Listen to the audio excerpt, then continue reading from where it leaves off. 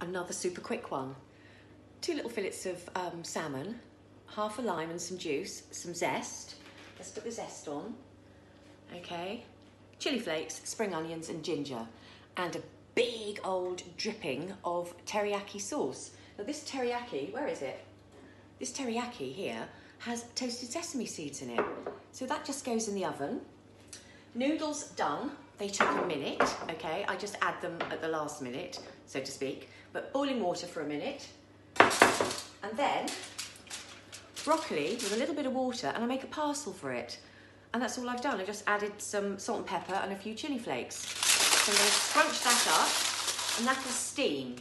And that's it, going in the oven. Isn't that exciting when this happens? So that was 20 minutes, look. You've got, oh God, it's hot. Noodles, which I just shoved in at the last two minutes. Broccoli and the salmon. I'm gonna plate it up now so you can have a look.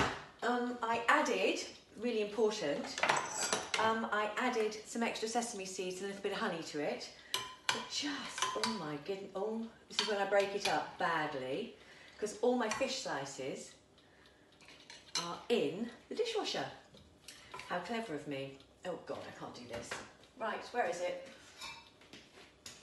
So there, bit of brock, bit of noodles.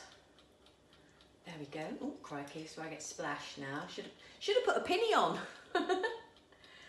but yeah, so there you go. A little bit of chili, a few more sesame seeds, and then oh, my ever-present coriander.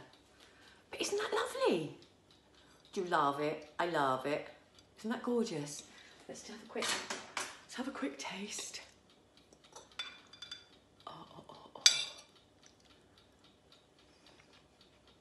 oh, perfectly cooked. And sweet. There you go. Exciting Friday and quick. Enjoy.